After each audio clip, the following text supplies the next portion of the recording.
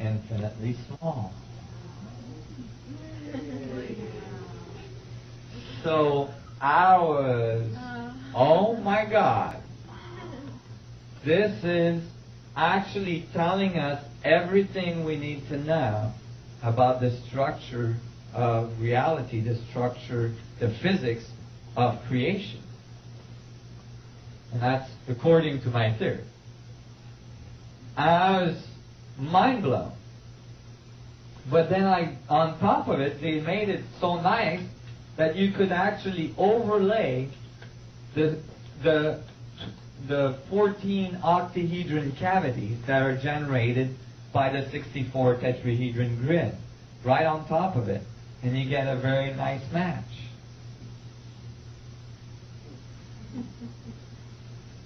So, you know, and then since then, it's been going berserk.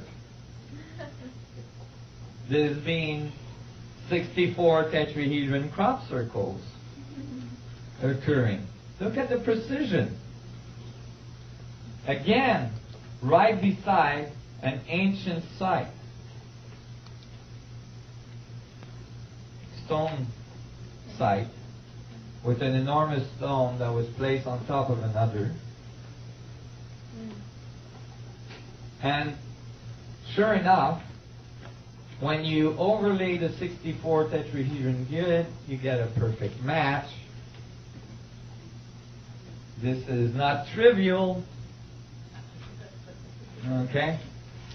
Uh, when you continue to explore the crop circles, this one is really interesting. It was, it was thought to be by one of the famous psychics the most important crop circle ever to occur. And because it's really simple, everybody went, huh? There's other crop circle much more interesting. But in fact, if you look carefully, that crop circle is a 2D representation of a 3D vector equilibrium. And in this crop circle, it gives you singularity in the middle, and it tells you that each tetrahedron generates the sphere, the radiative side of the equation.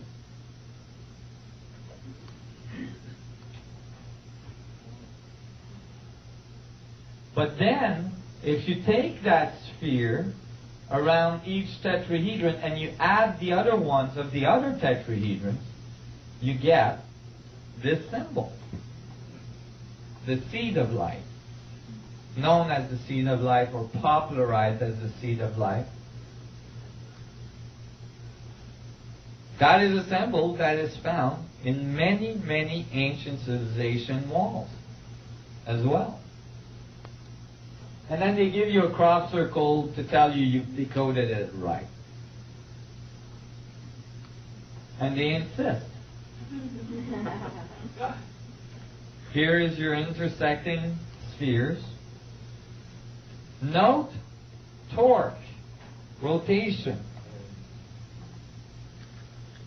Do you realize that current Einstein field equation does not accommodate for torque?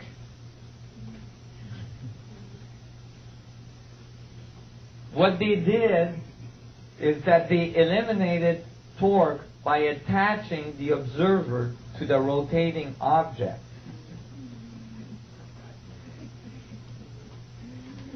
So that they wouldn't have to deal with Coriolis effect and torque. Well, if you do that, there's a good chance you're going to end up with 98% of the mass of the universe missing. Which is exactly what occurs in current cosmology. But instead of revising their approach to energy and torque and so on, they invented a new kind of matter. They call it dark matter. And they just plugged it in to the equation to make it work. Some kind of dark matter that doesn't radiate, that nobody can detect. It's convenient. Your equations are missing 98% of what of the mass out there. And instead of revising your equations, you just plug in some dark matter, this is not what I think of good physics. But if you look at galaxies and so on, imagine all the torque you would need to orbit a galaxy, billions of stars. You're talking about a lot of energy. So they give us a little bit of an idea about the rotation here and the Coriolis effect. But as well, you know, in case we were confused, they made sure we realized that it's all in a fractal structure. You see, it's all there. It's just amazing.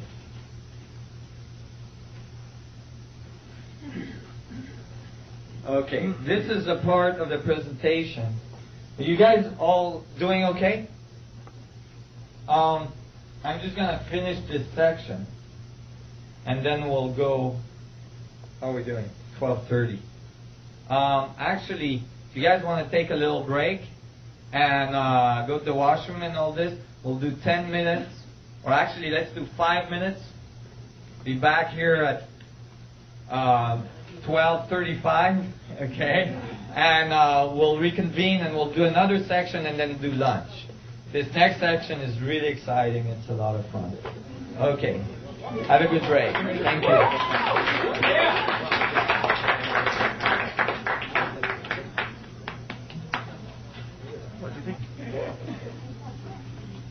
Well, we're going to go a little longer and do this section. And this section is quite amazing. And you might not get right away the relationship to this research, but you will get it in this afternoon session.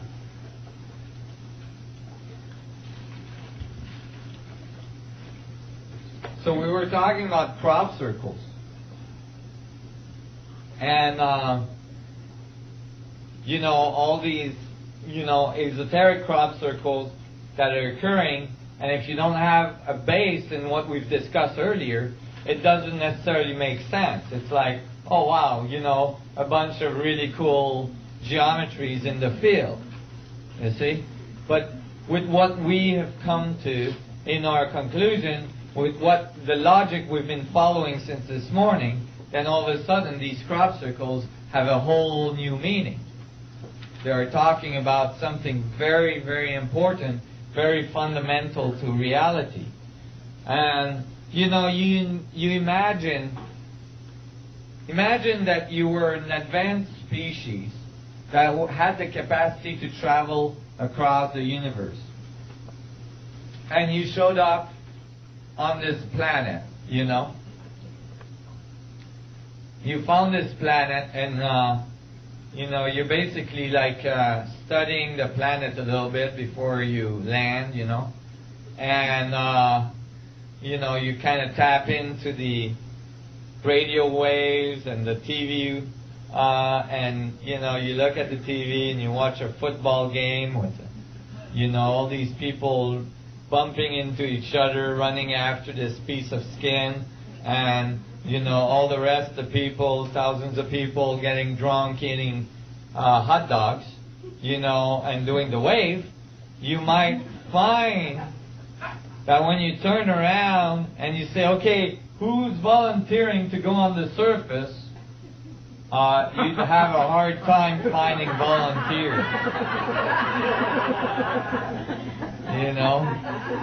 You might find, and I don't have anything against football, but you know, all the people shooting at each other.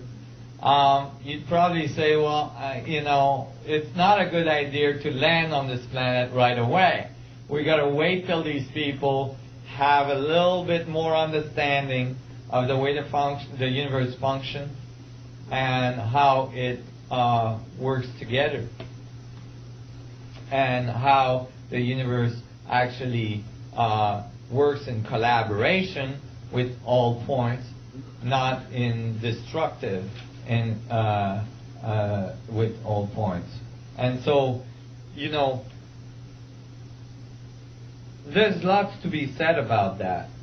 The concept that the universe always goes towards further disorder is violated by simple observation. The laws of entropy are violated by simple observation, and I'm gonna I'm gonna go through that a little bit more this afternoon. So remind me, but uh, you know we don't have time to go through that right now.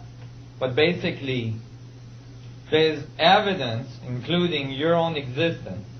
If you take your DNA and you put it end to end, well, you'll find first of all that in one cell there is six feet of DNA. This is from the Genome Project. And if you took the six feet of DNA that's in one cell and then put all the other six feet of all the other cell in your in your human body right now, you could wrap your DNA